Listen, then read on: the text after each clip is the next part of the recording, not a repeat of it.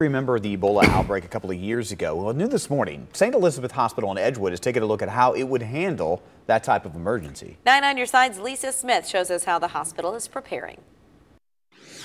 In an ER, you never know what the next emergency will be. We just got back on Friday from Sierra Leone. Okay. In this case, the emergency staff at St. Elizabeth's takes precautions if there's a fever and recent travel to a country with highly infectious diseases. They are in the decon area in the emergency room at Edgewood, yes. This is actually a statewide drill on how to handle potentially deadly contagion in Kentucky. We need to practice, we need to drill, we need to look at the what ifs. Mom is, I think, based on my conversation, uh, most probably um, high risk for having Ebola. Dr. Dora Savani is director of St. E's Infectious Disease Response Team. She communicates what's happening in Edgewood to state and federal officials. We have tremendous support from um, the state epidemiologist, from the Kenton County Health Department, from the CDC. For the purposes of the drill, the hospital has installed a makeshift ICU unit with rooms set up for isolation. This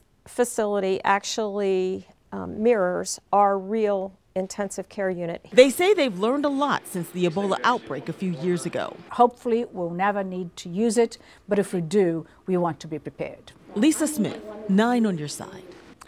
In a real scenario, local patients with an infectious disease like Ebola would be flown to Emory University in Atlanta for treatment. But meanwhile, St. Elizabeth is hoping to install a permanent isolation ICU area just in case.